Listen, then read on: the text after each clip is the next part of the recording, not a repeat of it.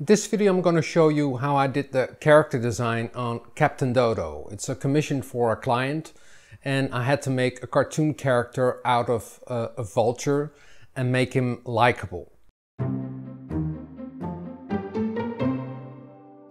Welcome to Stayf Draws. I'm Stayf, a Dutch illustrator and animator. And in this video I'm going to show you how I made the character design for Captain Dodo. And it's for a commission for a, a client. And he has um, a sanctuary for predatory birds. And he wanted a, a cartoon character from one of his vultures. And you know, the challenge was to, you know, make the vulture or Captain Dodo a likable character. And I went to the sanctuary and fortunately I could uh, film and I was also inside the cage when he was feeding the vultures. That was kind of scary but very interesting and then you can you know really see how these birds move and how their anatomy works. So in this video I'm just going to show you uh, the process of how I created uh, Captain Dodo. In order to understand a character or a bird or the vultures, I took all of these um, videos and I also took some pictures of the vultures. And especially inside you know you cannot really sketch them out because it is too dangerous. But I got a lot of footage and I used that to study the vultures. And I just did a lot of sketches of the real thing. And you know, if you you're doing cartoon design, it always derives from the original.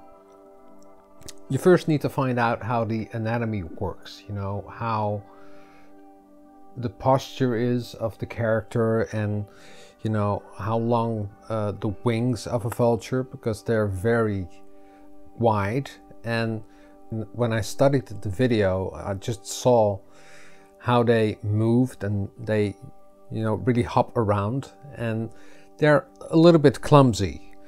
But, you know, I had to make this character uh, cute and, you know, when you look at the face of a vulture, they're not really cute. They're quite menacing. So that was a challenge, you know, to still keep the personality of the bird and uh, I just did a lot of uh, sketches, you know, first exploring and studying, you know, how the structure of the face works. I made more sketches than I usually do because birds are a bit difficult to draw and especially in cartoons because you know you need to capture it in a few lines. And especially the the beak you know looks different from every other uh, position. So I first did all uh, the sketches of the real thing and then later on I just started to make more of a cartoon. And when you draw over and over again you explore the character and you find uh, different things from uh, all the studies I've done before and then you can make it into a cartoon character and just try out different poses and you know find the character you want to portray. And I tried out some different uh, characteristics so I made him a little bit goofy and you know see if that works and tried some other hats because uh, the story behind Captain Dodo is that it is a kind of Jack Sparrow but then as a bird.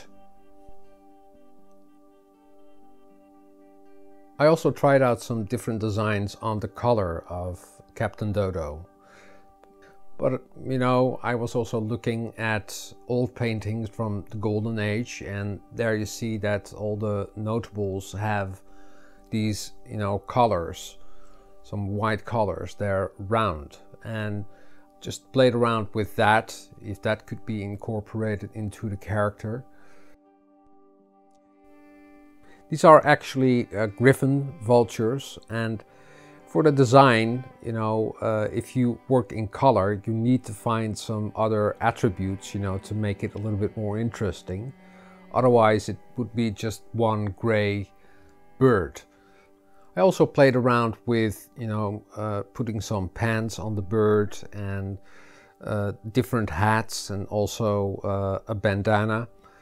And I also looked at uh, some pirates and I just incorporated that into uh, the sketches. And when I was finished with all of the sketches of uh, Captain Dodo, I just picked five different designs and I just numbered them and that I sent to the client. And you know, that's a good conversation piece because then you can, you know, discuss on what they like about the character and you know, you can make up the final design of the character by picking out, you know, uh, maybe the head of number one, the hands of number four, and in that way you can, you know, come to the final design of, of the character. And this is the final design of Captain Dodo. So this is how I did the character design for Captain Dodo. In the next video uh, I will do the inking and also the coloring, but I'm going to do it in vectors. And I use the app Adobe Fresco, so stay tuned. I hope you enjoyed this video and if you like it, please give it a thumbs up or subscribe to my channel. And don't forget to hit that notification bell because each time I upload a new video, you get a notification. Drawing is fun and practice makes perfect. See you next time. Doodles!